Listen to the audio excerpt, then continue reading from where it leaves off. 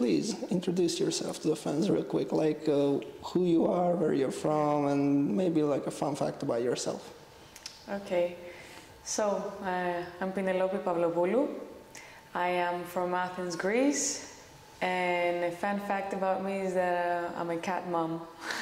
You're a cat mom. Of course, I would say that. of course. That's all I talk about lately.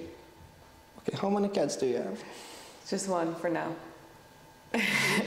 was there a time when you had more? No, no, I only when I was a when I was a kid, but it wasn't. We we had a cat, but it was in the in the fields, you know, mm-hmm. feeding her. She wasn't coming in the house, you know. Okay, now let's switch back to basketball. Uh, can you tell us when and where you got familiar with the sport and when you started playing? I started from a very young age playing uh, at school with uh, the boys. I was eight years old or maybe 7 mm-hmm. and I tried a lot of sports growing up because uh, I was an athletic kid and a, a, very energetic one. And our parents, with along with my brother, uh, pushed us to get involved with, with sports. So I started playing it, like I said, at school, and I realized that I'm good at it, and uh, I'm beating the boys, and uh, I can score threes, which for that age was rare. Mm-hmm. So I was like, okay, let's try. Let's uh, let's have me signed up in a, on, a, on an academy in, in Athens, and uh, the rest is history. Uh, you, you said that you tried some other sports too. What were those?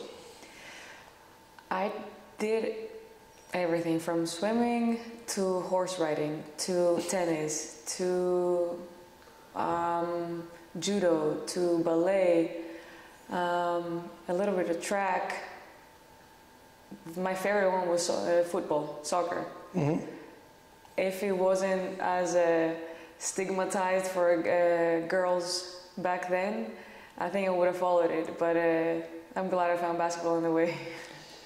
So, why did you choose basketball out of all these, if not soccer? Mm. Um, at the time, I didn't know why, but it was just pulling me more. It was I was enjoying it a lot more because uh, it was uh, it's it's a team sport. Mm-hmm. You share the ball. You you take shot. It's a beautiful sport. There is. Uh, baskets here and then. It's not, it's not like soccer where you play the whole game and maybe no team scores. Mm-hmm. You know, it's a, a, lot more interesting to me, and I realized over the years that it has a, to do. It has a lot to do with um, mind, the the mind, and uh, you know thinking and strategy. So. I, it just attracted me a lot more than the, all the other sports, and like I said, I was also good at it uh, at, at, that mm-hmm. age, and I was just enjoying it. It was always a game for me. I was playing, you know, with the with the definition of the of the word, playing mm-hmm. a game. I was having fun. Mm-hmm. When did you decide that you wanted to go pro? Like that that you wanted to do with this seriously on a competitive level? Mm-hmm. When I was 14 years old, I started uh, being more involved with it, uh, with you know playing in the national teams during the summer, and instead of going for vacation, I was staying in Athens to practice more, uh, to work out.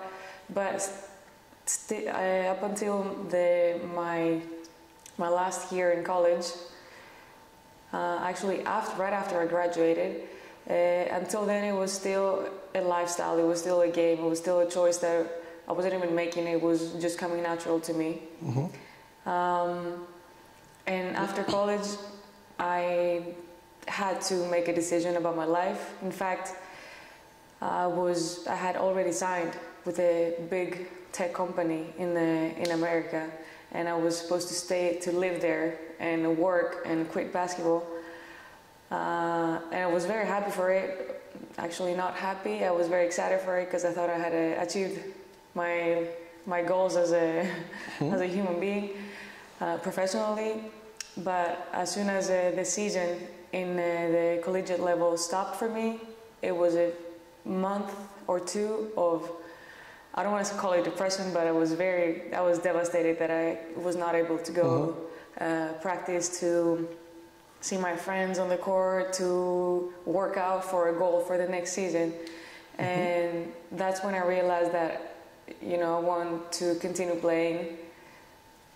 I withdrew from that uh, from that job. I returned to Greece, and there, then I said, okay, let's take it year by year and see how you feel, how you like it, and I'm still playing. Uh, can you walk us through your professional career so far? Like what teams you played for, what achievements you had with them on a club level? Yep. So before I left for the US, I was playing in the, in Athens in the Proteas Voulas. Uh, that was my first big achievements in the team um, in the team aspect. Um, we had a Greek Cup coming from the second division. When the, on the youth level, we had the a Greek championship, national championship, and that was that was incredible. You know, because that at that age, you just play with your friends, um, and we celebrated accordingly. uh, after that, I went. I left for the states. I was playing for Washington State University you know, in the, in the NCAA, in the Pac-12, uh, very competitive league um, conference.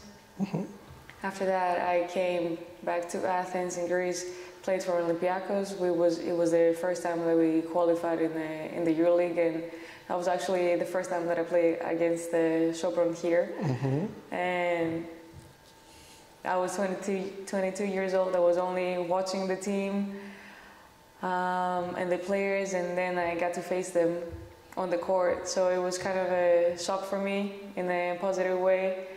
Um, big moments for young Penelope. uh, we had a I stayed for with Olympiacos for two years. We had two Greek Cups and a championship. Then it was COVID, so everything stopped. I left uh, played abroad in uh, Romania for Sepsi. We played in the qualifiers of EuroLeague, ended up in Eurocup. There we finished in the in the quarterfinals of Eurocup. Well, that was a tough season. Also had cup and uh, championship. Uh, that was a tough season with uh, everything being closed. You know, it was hard for everybody. You had to stay healthy. We were avoiding uh, all kinds of contacts with uh, the rest of the world, basically. Yeah. Um, I, after that year, I went to Thessaloniki to play for PAOK, and I left halfway through the season for Gdynia in Poland uh, to play again in, the, in EuroLeague in the, the Polish uh, league. Um, and next was Panathinaikos in my, my list, which was a which I lived big moments with in, the, in the club because uh, I don't know if you watched any videos from uh, the from from these games, but the fans there are crazy. they yes. always fill the gym. They were always uh, supporting us. So for um, a woman for, for women's basketball, this is uh, huge in the, in Greece. Uh, and after that, I came here in Sopron. So to summarize, you played for Olympiacos, Panathinaikos, and PAOK. Like Right. three great clubs in Greece. Like, wasn't it like weird to, Right. to go from one to the other? It was weird for me.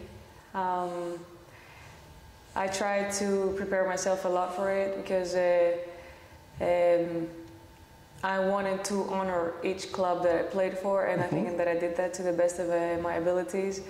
It's not something that is very common to do for athletes.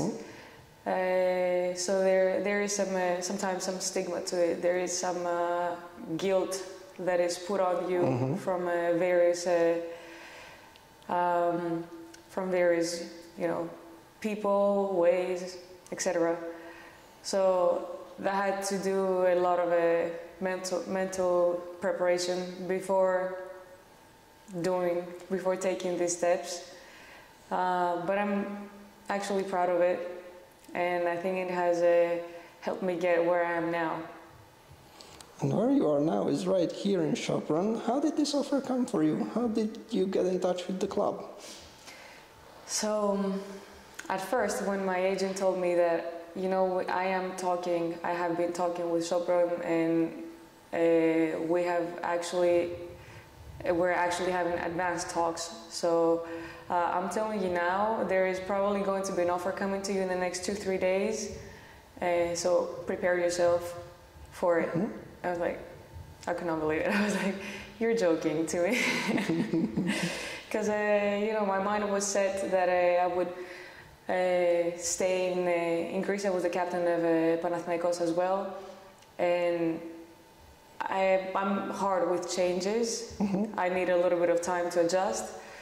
Um, but I was, I could not believe it because I've been watching Sopron play since I was, I don't know, 16, 17 years old. Because all Oh. these, uh, it was actually uh, Alexandra Cerventakis, if I'm saying her Mhm. name right. Yeah. Uh, we're in the same age, Mhm. and we would always play against each other in the European uh, level, uh, European competitions, youth level, Mhm. and I was so intrigued. So um, it was a shock for me when I realized that, you know, she transitioned. She got an offer very early in her in the, her basketball career. Mhm. She was very young for it. When she got an offer from uh, Sopron, I was like, wow, there's actually this way of playing Oh. basketball. I didn't even know at the time how professional basketball looks like, you know. And she, watching her um, and her progress over the years, I was admiring what, whatever she did. And even though we're not playing the same position, we were just, I could only feel the closeness because we were, I knew her because we were playing against each other for years. And then I saw how she took this huge jump in her career and really advanced her game. Uh, so I wanted to watch how she was doing that, and that's how I was watching these games. She didn't even know that. um, so I, there was nothing, really nothing to think about when I heard the name Sopron. I was like, okay, to my agent, take care of this. I still have games going on. Tell them yes, and the rest we're gonna figure it out. Um, what are your goals with our team now? My goals, personal goals, is to really every day take it step by step, step uh, practice by practice, to be better and to be good for this team, to be, uh, to provide whatever I can, to how, whether it's hustle plays, whether it's creation, whether it's a defense, whether it's um, just you know clapping, anything. I want this. I want us to be very successful and. Uh, the the goals as a team is obviously go as far as we can in the in Eurocup, and I think that this team has the potential to do it, uh, and hopefully bring back the the glory days of uh, of this team. With um, I know, it's it's big goals, and uh, I know there's very good teams in the, Mhm. this league, but I want us to be champions, cup winners, everything. I want to win it all with Sopron.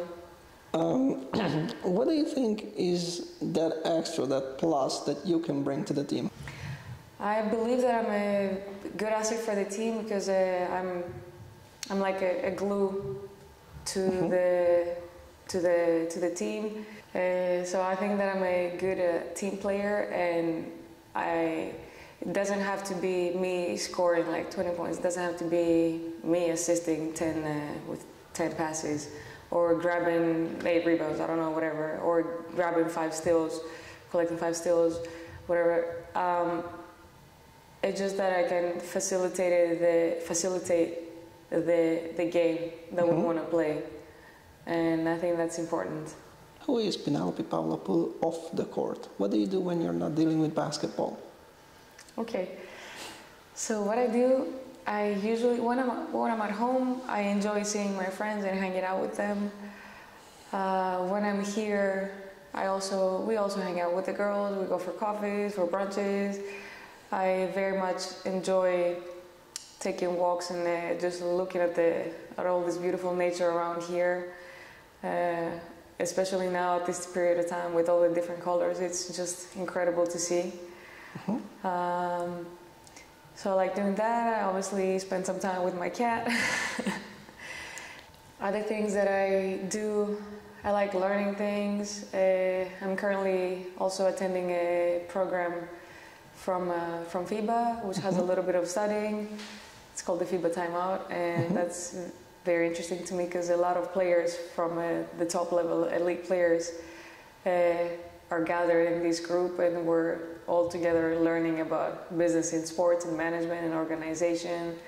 Uh, it's nice meeting, meeting these people and talking with them and sharing all of our experiences. Um, yeah, talk on the phone with my family, with my friends. That's how usually the days pass by. I also enjoy watching basketball, uh, mostly men's EuroLeague.